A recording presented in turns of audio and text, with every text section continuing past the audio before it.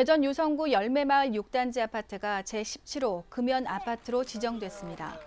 금연 아파트로 지정되면 금연 안내 스티커를 부착하고 3개월간의 홍보와 계도를 거친 뒤 보건소 금연 지도원이 금연 지도 단속을 실시합니다. 특히 복도와 계단, 지하 주차장 등 공동생활구역에서 흡연 적발 시 5만 원의 과태료가 부과됩니다.